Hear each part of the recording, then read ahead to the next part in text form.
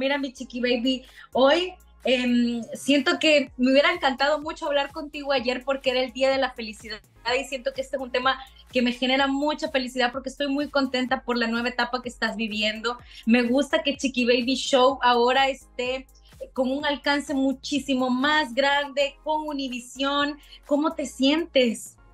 Muy, muy contenta, porque yo creo que desde el día uno, que a lo mejor no pensé que el show de Chiqui Baby de manera independiente iba a seguir, incluso cuando la gente me veía en televisión decía, ay, pero sigues en la radio, porque obviamente eh, mi, mi show pues lo producía todos los días, pero empecé en una estación, en otra, ya ahora estamos en 100 ciudades, pero pues nos, nos costó tiempo, ¿no? Obviamente.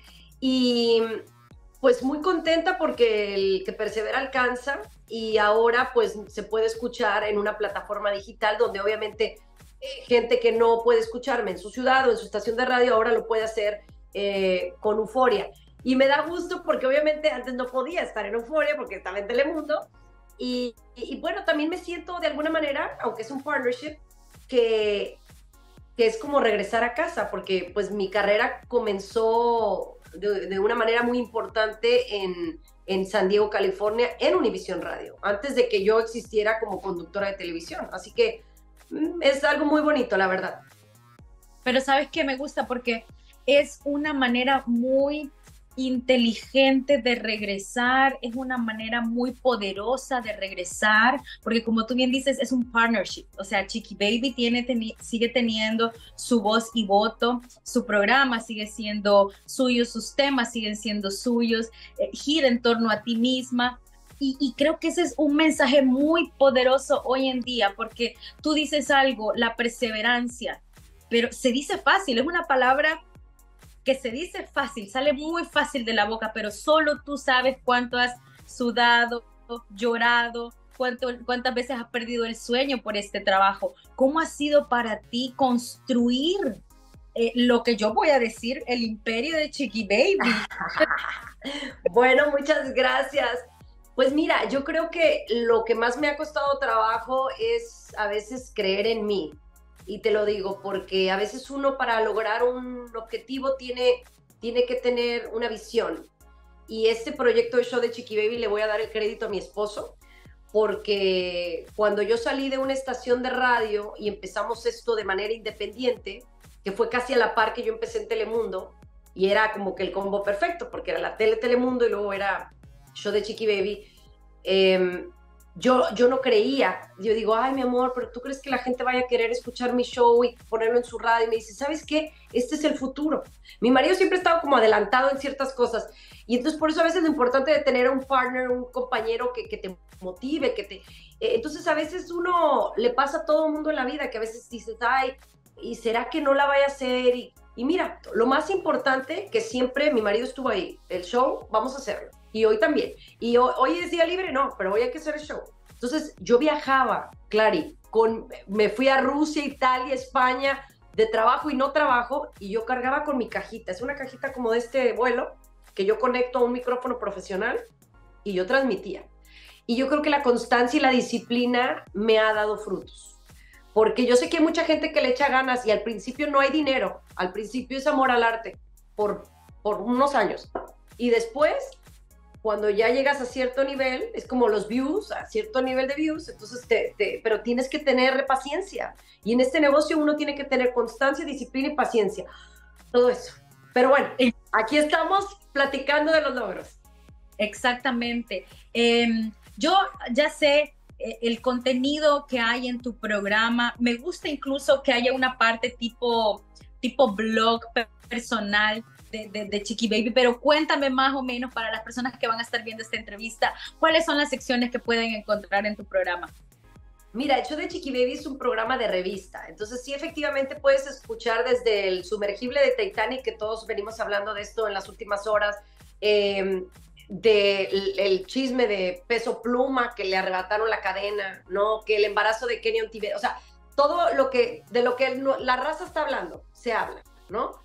Pero creo que lo que a mí más me gusta dentro del show es cuando, número uno, hablamos de controversias. Es decir, por ejemplo, hablábamos de cómo las mujeres eh, recuperan la figura, decían, ay, es que qué rápido recuperó la figura fulanita de tal después del, del embarazo. ¿Y yo qué? Le digo, discúlpame, yo no estoy como estaba hace dos años, ¿eh? Todavía no estoy. Le digo, las mujeres cambiamos. Ay, pero J-Lo y Jackie Bracamontes sí lo lograron. Ay, pues le digo, yo no soy J-Lo y no soy Jackie Bracamontes, ni tengo la genética. Entonces, ¿me entiendes? Entonces, este tipo de cosas me gusta porque se genera controversia, a veces natural, con el, con el público. Esas cosas, de repente siento que a través del WhatsApp la gente reacciona mejor. Entonces, es lo que me gusta hacer.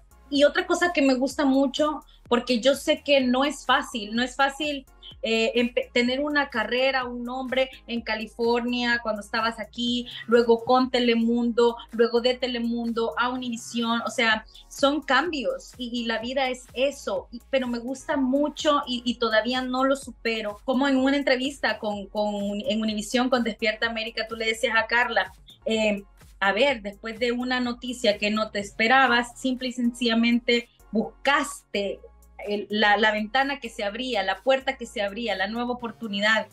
Es, es fácil, pero es muy difícil. O sea, fácil tratar de decirlo, pero es muy difícil dar ese paso. Y me gusta porque nos podemos identificar contigo y tú no te cierras a esas emociones, pero tratas de ver y de decirlo bonito. Y eso creo que se agradece. ¿Cómo ha sido para pues no, es que también decir, ay, eh, qué, bonito ha sido, no, y he tenido mis momentos, eh, obviamente yo el día que, me dijeron, eh, yo lloraba, ¿no? Porque me quitaron, es como dicen un duelo, me quitaron de hacer algo que yo amaba. Y la gente, ahí lo ves en las redes sociales, la gente se dio cuenta, yo no esperaba esa reacción de la gente, pero la gente se dio cuenta que yo amaba lo que yo, lo que yo hacía en televisión y el que me, me, lo quitaran, pues sí, sí me dolió.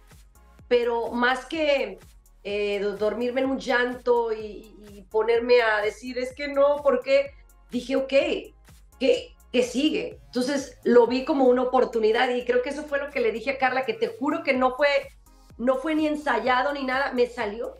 Es que, y ahora ya lo repito porque es que sí fue una oportunidad, una oportunidad para estar con mi hija que yo misma no me había dado porque regresé muy pronto a, trabajar después del embarazo. Y, verle el lado positivo a las cosas, fue en holiday, estuve con la familia, he estado mucho de pata de perro, yo sé, viajando, pero si no lo hago ahora, ¿cuándo lo voy a hacer? Entonces, ya ahora me pienso, te, te digo muy chistoso, porque esta oportunidad que me ha dado la vida, me la pienso si quiero volver a una rutina en donde me tengan encajonada o sea, sí me la pienso. Si me llega la oportunidad de, oye, chiquite, necesitamos de 5 a 8 aquí, y, tienes que hacer esto, y, ay, como que digo, ya me, ya me había gustado esta libertad que tengo. Entonces, por algo son las cosas. Pero mira, me gusta, me gusta porque es verdad. Eh, la reacción de la gente fue, fue de no.